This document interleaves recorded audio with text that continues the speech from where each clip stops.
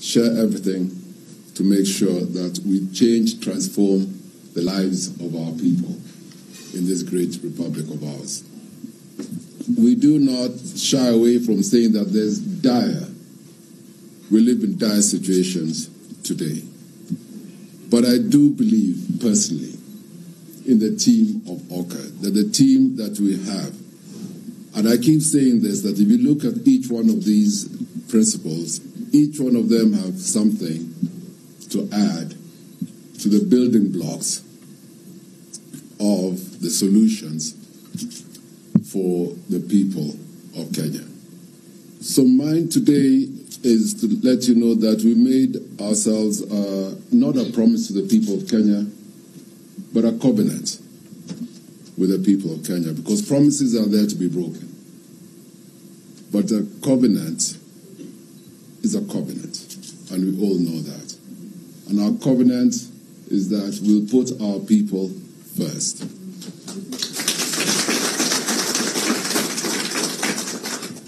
And there is no go areas in, in us. There is, as Martha Karua said, there is zero and absolute zero tolerance to corruption. We adhere to good governance and to the rule of law. You can read it in each one's manifestos, you can read it in our speeches, in our utterances, and in the manner that we conduct ourselves.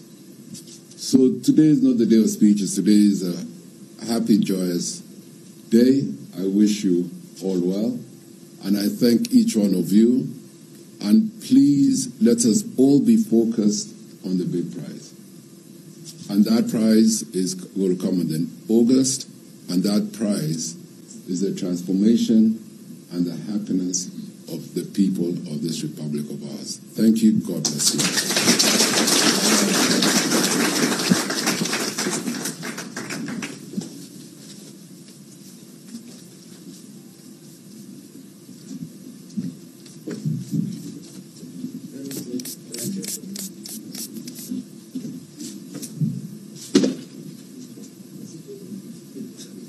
So the buffalo is in the room.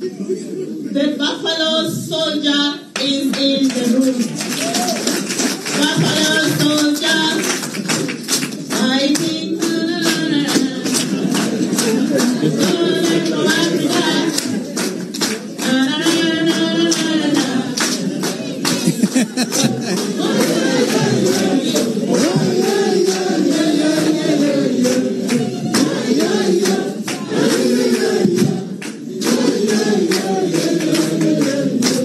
Out of tune.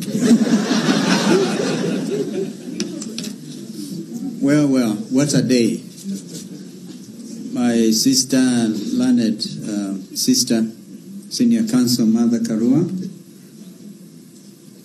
my brother, actually real brother, Gideon Moi, my brother Cyrus, the hurricane, Cyrus, and I referred you to Psalms 45. And I hope you internalize that. Isaiah 45, I beg your pardon. Our brother Irungu Nyakera and David Ochieng, who has just left, stepped out to attend to his NDC. Party leaders who are here. My own deputy is here, Farah Maalim.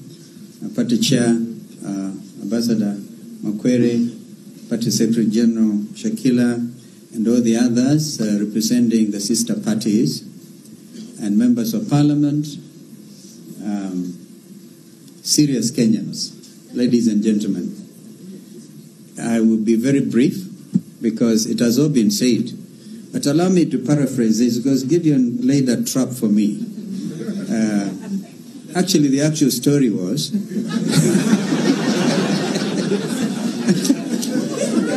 that I found mother looking for a earring.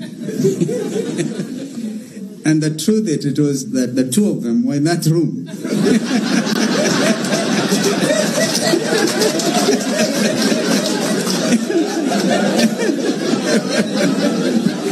At least before I came.